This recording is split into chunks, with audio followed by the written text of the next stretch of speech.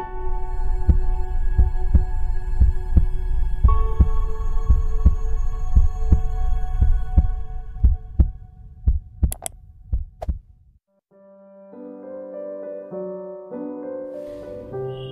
मैं doctor Pradeep Kulkarni cardiologist और आज हम बात करें कि पेसमेकर क्या है।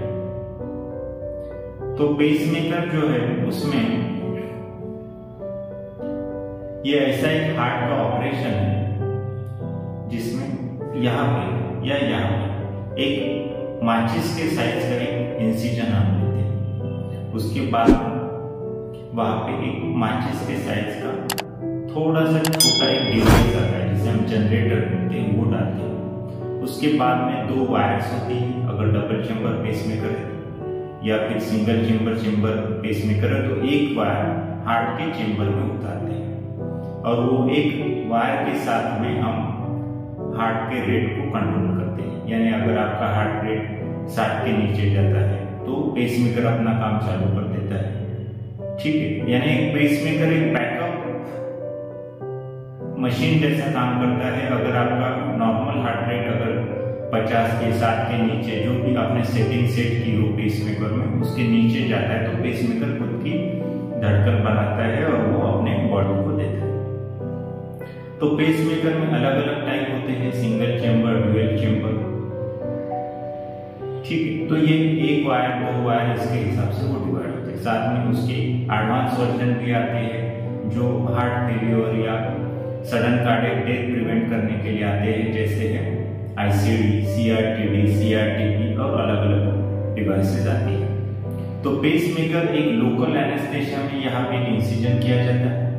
उसके बाद में वहाँ पे जनरेटर डालते हैं फिर वायर्स हार्ट के चेम्बर्स में उतारते हैं और उसको बाद में सूचर यानी टाके मार दिए जाते हैं। तो ये कम से कम एक आधा से एक घंटा की प्रोसीजर है।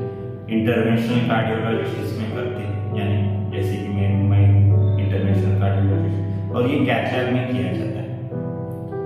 तो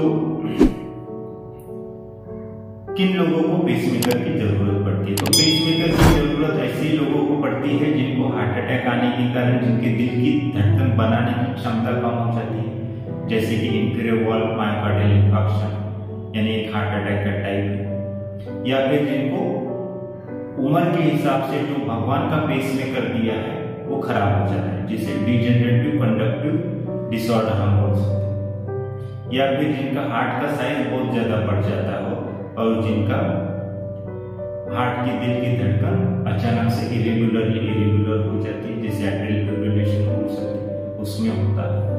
या आपको कोई हार्ट की सर्जरी हुई हो, आपको वॉल की सर्जरी हुई हो, जिसके कारण आपका नेशनल पेसमेकर खराब हो चुका है, उसमें आपको किया जाता है। ऐसे अलग अलग चीज़ों में पेसमेकर पर किया जाता है। तो पेसमेकर को कितना खर्चा आता है? तो single chamber double chamber ICD CRTD इसको अलग अलग खर्चा आते हैं। जनरली सिंगल चेम्बर जो पेसमेकर है उसको एक अस्सी हज़ार से एक लाख के बीच में खर्चा आता है।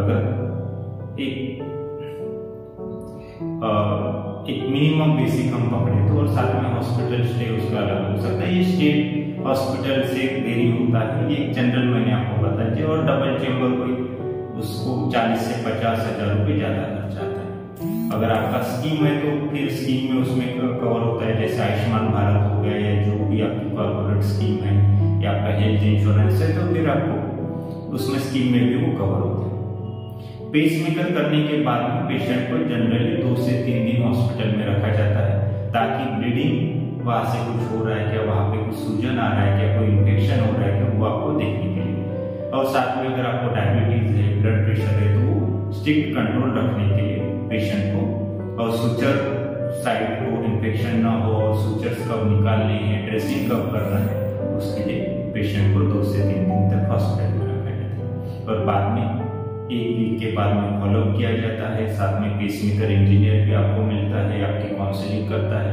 ऐसी चीज़ें जनरली पेसमेकर ऑपरेशन से जुड़ी हुई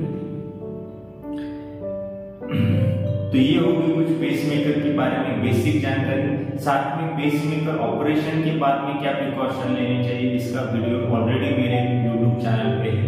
वो भी आप देख सकते हैं। साथ में सीआरटीडी क्या है सीआरटीपी क्या है आई क्या है, उसका भी एक वीडियो बना हुआ है, वो भी आप देख सकते हैं। तो ज़रूर मेरे यूट्यूब चैनल को सब्सक्राइब कीजिए और आपके दोस्त के फैमिली मेंबर्स के साथ में शेयर कीजिए। Thank you